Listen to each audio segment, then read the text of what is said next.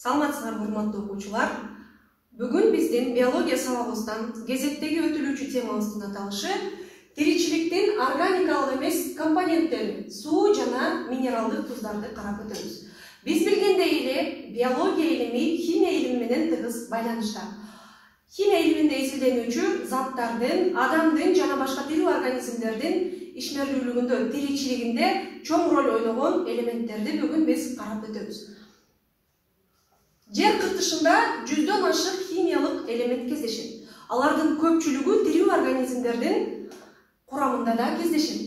Биз клетканын негизги тиричилигине керек элементтерди карап өтө турган болсок алар кычкылтек көмүртек суутек азот күкүрт калий темир кальций фосфор хлор натрий жана магний. Биз буларды биогендик элементтер деп атайбыз.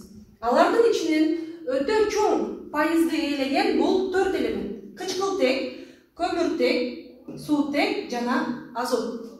Биз буларды көптөгөн организмге керектүү болгон органикалык заттардын курамына киргендиги үчүн белокторго май углеводдор нуклеин кислоталары жана башка органикалык заттардын курамына киргендигинен биз аларды органогендик элементтер деп атайбыз. Демек органогендик элементтер организмдин токсон беш пайызынан токсон сегиз пайызына чейин ээлешет андан кийинки классификациялап карай турган элементтер булар макроэлементтер ошондой эле микроэлементтер. Макроэлементтерге кайра эле кычкылтек көмүртек суутек азот фосфор күкүрт натрий калий кальций хлор жана башкалар кирет. Ал эми өтө аз өлчөмдө организмде кездешүүчү бирок ошол эле учурда организмге аябай керектүү болгон элементтер булар марганец темир жез цинк алюминий бор жана йод. Ар бир элемент организмде кармалуусуна аз өлчөмдөгү же көп өлчөмдө кармалуусуна карабастан алардын ар биринин өтө чоң мааниси бар. Өзүнүн аткарган кызматы бар.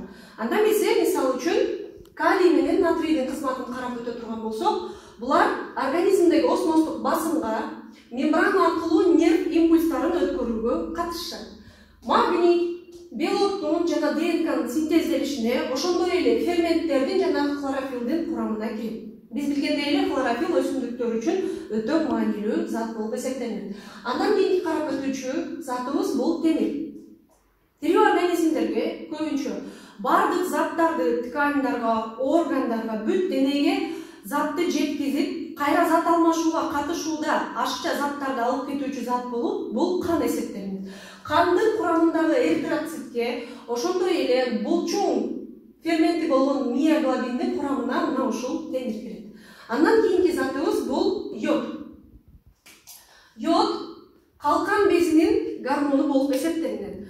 Биз билгендей эле эгерде йоддун жетишпестиги боло турган болсо анда көптөгөн оорулар чакырылышы мүмкүн кобальт б эки витамининин курамына кирет буга чейин атап өткөндөй эле ар бир элемент кармалуусуна карабастан ар бир организм үчүн өтө чоң мааниге ээ биз азыр элементтердин жетишпестигинен жана ашыкчалыгынан келип чыгуучу ооруларды карап өтөбүз себептери мисалы үчүн йоддун жетишпестиги бул зоб жана кретинизм оорусуна алып келет йод калкан безинин гормонунун курамына кирет ошондуктан эгерде ал жетишпестиги боло турган болсо зоб оорусу же кретинизм. Кретинизм оорусунда ой жүгүртүү начарлайт эгерде ошол эле учурда йоддун көп кармалуусу байкала турган болсо анда бул базедов оорусуна алып келет. Фтордун сууда жетишпестиги тиштик кариес жөнөкөй тил менен айтканда тишти курт жеген учурга алып келет. Ал эми фтордун көп кармалуусу болсо флюороз жөнөкөй тил менен айтканда сөөктүн тиштин морт болуусу тез сынуу ооруларына алып келет. Эгерде темирдин жетишпестиги болсо биз буга чейин айтып өттүк темир кандагы эритроциттин курамына кирет. Ошондуктан эгерде темирдин жетишпестиги организмде байкала турган болсо анда анемия оорусуна аз кандуулук оорусуна чалдырат. Өсүмдүктөрдө дагы жаныбарларда эле адамдарда эле бул заттар жетишпесе оору пайда болгондугундай эле өсүмдүктөрдө дагы эгерде кандайдыр бир заттар жок боло турган болсо өсүмдүктөр дагы ооруга чалдыгышат мисалы үчүн азоттун жетишпестигинде өсүү процесстери начарлайт жалбырактар майда болот ошол эле түстүн начарлашы байкалат органикалык эмес компоненттерге элементтерден сырткары бизде сууну дагы карап өтөбүз. Суу ар бир организм үчүн өтө маанилүү. Мисалы үчүн даракта суунун кармалуусу элүү пайыздан жетимиш беш пайызга чейин. Пил жаныбарында болсо алтымыш пайыздан ашык. Адамдын денесинде жетимиш сексен пайызды суу түзөт. Ошондой эле биз жакшы көрүп жеген дарыбызда суунун кармалуусу токсон пайыздан ашык. Ал эми медузада болсо токсон тогуз пайызды түзөт. Суу организмде эркин жана байланган формада болот. Эркин формасы ар дайым реакцияларга катышат жана зат алмашуу процессинде сыртка чыгуусу дагы мүмкүн. Байланган суу бизге организмге өтө керек болгон убагында гана иштетилет. Аткарган функциясы боюнча суунун кызматы өтө көп. Алардын ичинен эң керектүүлөрү биздин организмибизде кандай химиялык реакция жүрбөсүн ал реакциялардын баардыгына суу катышат.